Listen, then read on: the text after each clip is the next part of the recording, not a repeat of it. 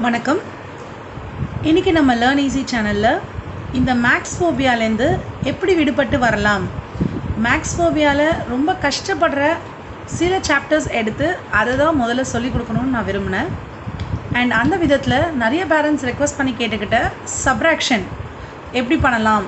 ஈஸியாக எப்படி பண்ணால் நல்லா இருக்குன்றது தான் நம்ம இந்த வீடியோவில் பார்க்க போகிறோம் சப்ராக்ஷன் ஈஸியாக பண்ணிடலாங்க. நம்மளோட கல்ச்சர்லேயே கடன் வாங்கக்கூடாதுன்னு சொல்லியிருக்கும் போது மேக்ஸில் நம்ம போரோ பண்ணி சப்ராக்ட் பண்ண சொல்லி கொடுக்குறோம். சப்ராக்ஷன் நார்மல் சப்ராக்ஷன் பசங்களுக்கு ஈஸியாக இருக்கும். பட் இந்த பாரோ பண்ணி பண்ணுற சப்ராக்ஷன் கொஞ்சம் திணறுவாங்க. அந்த திணறல் இல்லாமல் இருக்கிறதுக்காக பாரோவே பண்ணாமல் ஈஸியாக நம்ம சப்ராக்ஷன் எப்படி பண்ணலான்றத இந்த வீடியோவில் சொல்ல போகிறேன் சப்ராக்ஷனுக்கு நம்ம போகிறதுக்கு முன்னாடி முக்கியமாக நமக்கு தெரிய வேண்டியது இந்த வீடியோவில் சப்ராக்ஷன் பண்ணுறதுக்கு பேசிக்காக சில ரூல்ஸ் இருக்குது அந்த ரூல்ஸை முதல்ல கற்றுப்போம் வாங்க. இன்றைக்கி நம்ம பேசிக் இன் வேதிக் மேக்ஸ் பார்க்க போகிறோம் அதாவது இந்த சப்ராக்ஷன் நான் உங்களுக்கு சொல்லிக் கொடுக்குறதே வேதிக் மேக்ஸ் மெத்தடில் தான். ஸோ ஃபஸ்ட்டு வேதிக் மேக்ஸில் பேசிக் மெத்தட் என்னென்னா ஏகாதிகா. அதாவது it is a Sanskrit word ஏகா திகா வாட் யூ மீன் பை ஏகாதிகா? அதாவது ஏக். ஏக்னா ஹிந்தியில் ஒன்னுன்னு அர்த்தம். ஏக் அதிகா அப்படின்னு நம்ம இதை பிரிச்சுக்கலாம். ஏக் அதிகா அதாவது ஏக் அதிகம்னா ஒன் மோர் அதாவது ஏகாதிகானா ஒன் மோர் ஏகாதிகா மீன்ஸ் ஒன் மோர் நம்ம நார்மல் மேக்ஸில் வந்து ஆஃப்டர் நம்பர்ஸ் சொல்லுவோம் இல்லையா? அதை தான் நம்ம வேதிக் மேக்ஸில் ஏகாதிகான்ற டேர்ம் யூஸ் பண்ணுறோம் ஸோ ஏகாதிகானா ஒன் மோர் இதை வந்து நம்ம எப்படி சிம்பிளில் எப்பயுமே மேக்ஸில் எல்லாமே ஒரு சிம்பிள் யூஸ் பண்ணுவோம் இல்லையா? அதே மாதிரி ஏகாதிகாக்கான சிம்பிள் என்னென்னா ஒரு நம்பர் எழுதி ஃபார் எக்ஸாம்பிள் டூ எழுதுகிறேன் நான்.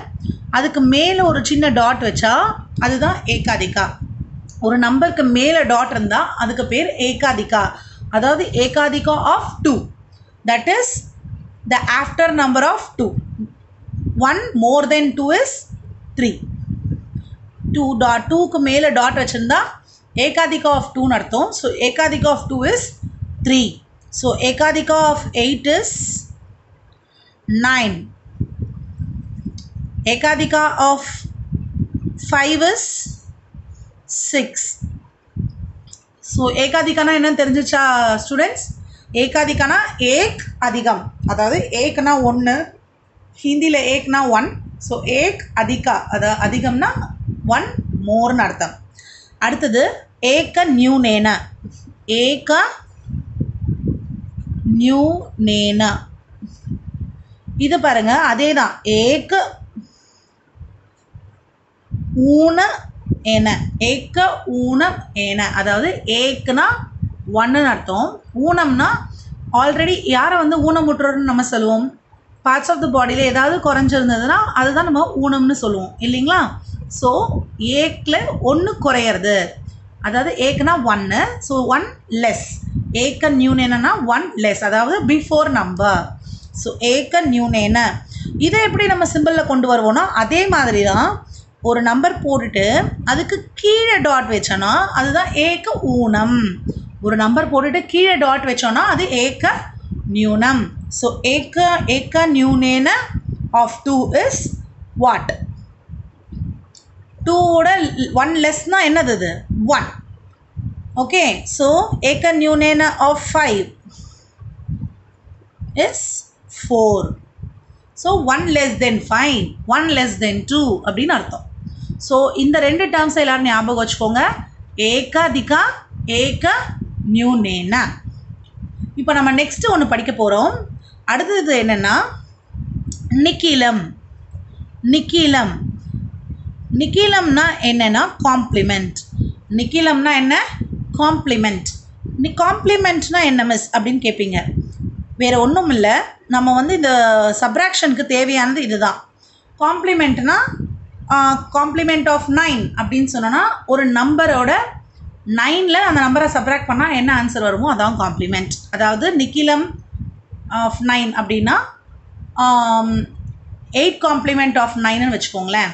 ஸோ நைனில் எயிட் போயிட்டுனா மீதி எவ்வளோ? One so nine complement of eight is one nine complement of three is six so நைனில் த்ரீ போச்சுன்னா சிக்ஸு அந்த மாதிரி. So complement nine complement nine complement of four is five எப்படி? நைனில் ஃபோர் போச்சுன்னா five suppose ten complement